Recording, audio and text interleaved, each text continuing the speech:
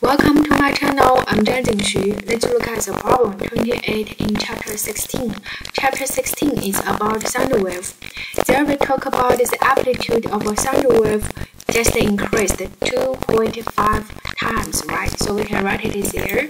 The A1 over A2 is 2.5, right? It increased. And then, so this is the initial, this is final. And then ask you what factors will the intensity increase? So there we know the in intensity ratio is just the amplitude ratio squared. So this one, the intensity ratio is 2.5 squared, 6.25. Next one ask you how much the sound level increased. So sound level, we consider the definition for sound level.